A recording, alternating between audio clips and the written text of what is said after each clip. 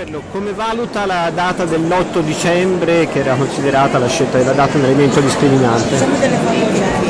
Io ho sempre detto che prima si faceva il congresso meglio era, addirittura a maggio avevo proposto in modo folle di farlo a luglio, quindi va benissimo l'8 dicembre, l'importante è che questo percorso si avvii, la nostra gente ha voglia di partecipare, di discutere, di decidere. Sono convinto che ne verrà una bella, una bella discussione che rilanceremo il progetto del PD. 10.42 minuti, Luca, eccoci. Buongiorno anche al nostro mitico analista, Grande. cronista, il nostro Tommaso Labate, per chiedergli che valutazione Ciao dai Luca, buongiorno. Buongiorno, buongiorno, buongiorno, Tommaso. dell'assemblea di venerdì e sabato, perché noi abbiamo sentito Adinolfi che dice ma no, hanno un po' discusso ma poi si uniranno e marceranno compatti e comuni. Invece tu che pensi? E probabilmente succederà questo. Io faccio un'annotazione di carattere personale. Sabato ero fuori Roma in un posto diciamo in cui c'erano internet e, e- e niente. Ho praticamente la prima volta dopo tanto tempo appreso diciamo, le notizie leggendo i giornali il giorno dopo non ci ho capito praticamente nulla di quello che era successo. E quindi il solito caos interno del Partito Democratico e, e la solita variabile, le solite due variabili che incidono su di esso, che sono A. Silvio Berlusconi, B. il governo, il congresso si giocherà soprattutto su questo. Secondo te ehm, lo scontro con Letta eh, e le- gli avvertimenti che Letta ha dato, le battute di Letta contro Renzi sono pure schermaglie che si risolvono poi in un abbraccio, in una corsa in cui uno fa il numero uno e l'altro il numero due? No, non penso, loro rimangono secondo me tutti orientati a una sfida finale che sarà proiettata secondo me non adesso ma, ma al 2015, dice, perché il governo soprattutto eh, beneficerà per tanto poco che conti eh, del- degli effetti che sono positivi sul governo italiano alle elezioni tedesche, cioè di un quadro stabile che porterà la Merkel a fare il governo con l'SPD e fisiologicamente il PPE e il, PS il PSE a riavvicinarsi e, e- e di tutto questo, essendo un po' una delle emanazioni di questa situazione, anche il caso italiano, Letta secondo me beneficerà. La vera sfida secondo me sarà tra Renzi e Berlusconi, cioè se alle elezioni europee la Forza Italia di Silvio Berlusconi nuova eh, riuscirà a prendere un voto in più del partito- primo partito democratico targato Renzi. Se così fosse, eh, dentro il Partito Democratico sarebbe un problema non da poco, perché tutti farebbero la fila da Renzi e dici ma dove erano i voti del centrodestra che dovevi prendere? Quindi la madre di tutte le battaglie, per quanto poco o, o tanto che contino le elezioni europee, sarà la sfida tra Berlusconi e Renzi, tra Forza Italia e il nuovo PD. E per vincerla, secondo me, o per provare a recuperare eh, consenso, Berlusconi, essendo quella una sfida in cui ci sono le preferenze, in cui va scritto il nome del, del- del candidato che il cittadino sceglie a più di un'opzione, si candiderà qualcuno con cognome Berlusconi in tutte le circoscrizioni, sia essa Marina, Barbara, eh, Pippo o Topolino. Sarà un Berlusconi candidato in tutte le circoscrizioni nelle liste di Forza Italia, come molto probabilmente ci sarà anche Renzi che farà da traino appunto con le preferenze al suo partito, sarà lì che si gioca la sfida.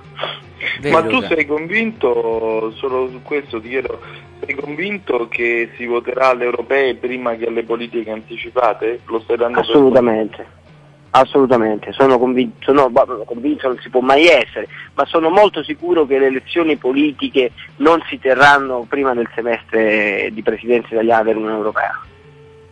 Quindi il vero test sono le elezioni europee, dici, Napolitano non fa Vabbè. votare, Ma non è una questione di andare a votare o di non andare a votare, ricordiamoci sempre che eh, la, la sovranità, la sovranità popolare appartiene al popolo che la esercita diciamo, nei modi previsti, nei modi, nei tempi previsti all'articolo 1 della Costituzione. E che c'è eh, reale o virtuale una maggioranza di eletti eh, sia alla Camera che al Senato che sono contrari alle elezioni anticipate o che potrebbero, in potrebbero diventarlo in prospettiva. Questo è l'orizzonte su cui dobbiamo ragionare, per cui non esiste una maggioranza parlamentare a favore delle elezioni anticipate, esiste una maggioranza parlamentare in entrambe le Camere, secondo me molto più robusta di quella che sembra attualmente, che è favorevole al mantenimento in vita della legislatura. Questo conta.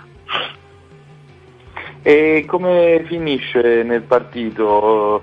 Eh, eh, sempre ti dico, Marione diceva si dividono, alla fine Letta andrà al partito e, e Renzi a Palazzo Chigi. Ma io non penso che succederà, non, potrebbe anche succedere questa cosa qua. Io dico che adesso Letta rimarrà probabilmente Presidente del Consiglio, Renzi farà il segretario del Partito Democratico. Ovviamente, visto che in politica contano i numeri, Renzi dovrà dimostrare alle elezioni europee di essere in grado di, di, di, di sopravanzare anche non di poco la nuova creatura guidata da, Umber, da Silvio Berlusconi e trainata da un Berlusconi, chiunque esso sia come candidato. Se Renzi la sfida a quel punto il problema non si porrà perché se Renzi dà, lascia, eh, fa mangiare la polvere, come si direbbe in un gergo automobilistico o, o dell'ippica a Forza Italia, sarà evidentemente lui il leader naturale delle, del centro-sinistra alle prossime elezioni e quindi tutti i temi sulla collocazione di Letta si, si, diciamo, si affronteranno ma saranno visti con una prospettiva molto meno cocente. Se invece Renzi avrà difficoltà contro Berlusconi si riaprirà dentro il Partito Democratico quella contesa che si è sempre riaperta non appena il Partito Democratico ha perso qualcosa, con Beltroni, con Franceschini e anche con Bersani.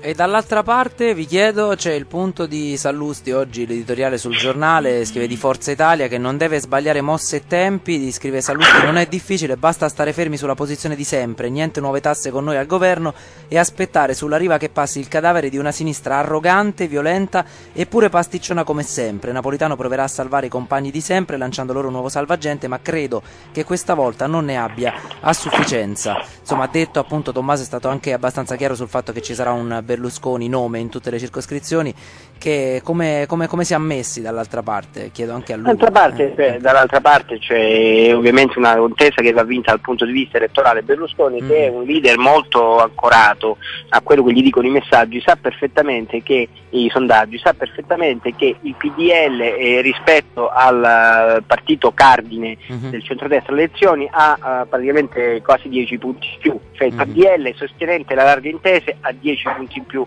del PDL del centrodestra. Il PD sostenente le larghe intese ha comunque 4, 3 o 4 punti in più del PD che si è candidato insieme a SEL. Mm-hmm. Le opposizioni dal Movimento 5 Stelle a SEL passando per la Lega hanno tutti i voti in meno mm-hmm. rispetto a quelli che hanno avuto nei sondaggi, rispetto a quelli che hanno avuto alle politiche e questo perché? Perché al di là di come governano Partito Democratico, il Partito e Popolo della Libertà e attualmente Forza Italia, è evidente che queste due forze politiche catalizzano l'agenda mediatica eh, ma anche appunto politica di tutto il resto, cioè come se divorassero tutto e anche andando sì. male occupano spazi che comunque le opposizioni e voci delle opposizioni non riescono quindi a far, a far sentire. Detto questo l'evidente posizionamento strategico in questo eh, di Forza Italia eh, secondo me è quello che porterà Silvio Berlusconi a più miti consigli rispetto al governo, cioè pungolamento continuo, eccessivo, costante, uh-huh. e naturalmente gli porta bene perché con questo ha ottenuto l'IVA e molto probabilmente otterrà che l'IMU e molto probabilmente otterrà che non venga aumentata l'IVA, ma sempre diciamo, in un orizzonte che contempla la presenza del governo e non lo scioglimento anticipato della magistratura. Se vuole sfidare Renzi, Berlusconi un appuntamento ce l'ha e a breve, saranno le elezioni europee. Mm. Malgrado, secondo te, le, le minacciate dimissioni di Saccomanni non produrranno l'aumento dell'IVA? Beh, eh, pare che ieri sia stato trovato un accordo, che Letta e Saccomanni abbiano fatto un punto e che siano entrambi d'accordo sull'allarme di Saccomanni, ma che potrebbe, l'aumento dell'IVA potrebbe essere scongiurato.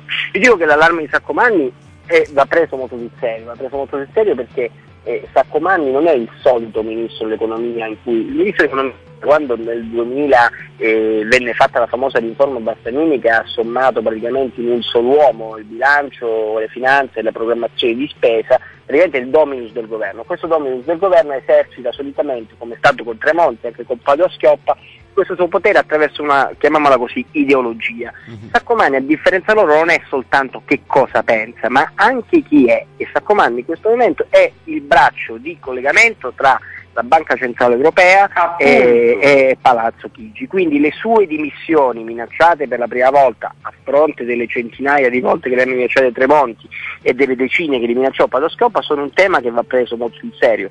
Tutti hanno consapevolezza che se salta Saccomanni salta il governo, proprio perché la ragione di questo governo quindi si troverà secondo me si troverà una, dovranno trovare una soluzione a provare a tirare di meno. Sull'IMU d'altronde l'hanno trovata, hanno trovato una soluzione che sta molto di maquillage, visto che arriva la service tax, ma che apparentemente alle forze politiche ha fatto bene. Succederà così anche sull'IVA secondo me. Dicevi Luca? No, dicevo che proprio quello che dice Tommaso è, è, è questo, che dietro Saccomanni c'è Draghi.